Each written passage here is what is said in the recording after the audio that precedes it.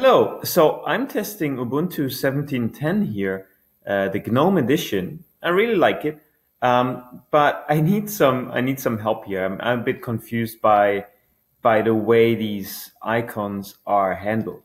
So my my question in general is, um, why do some applications, for example, um, have a way to add them to the favorites, like Thunderbird does, right?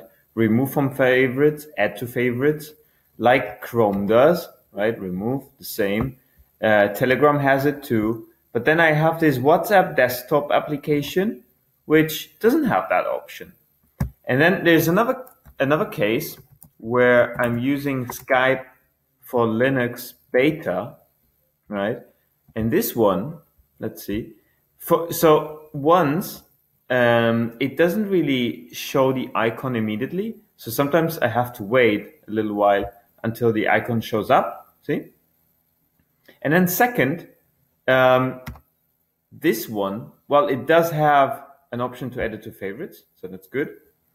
Um, but why does it have twice this this entry here mentioned quit Skype and quit? So that's not really consistent, right? This one only has quit, right? So, so how is that produced?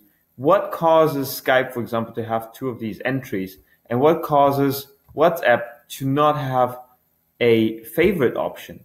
Is that something which is handled by the application directly, or is that a so basically where to address this bug? Is it a bug of the application? Is it a bug of GNOME?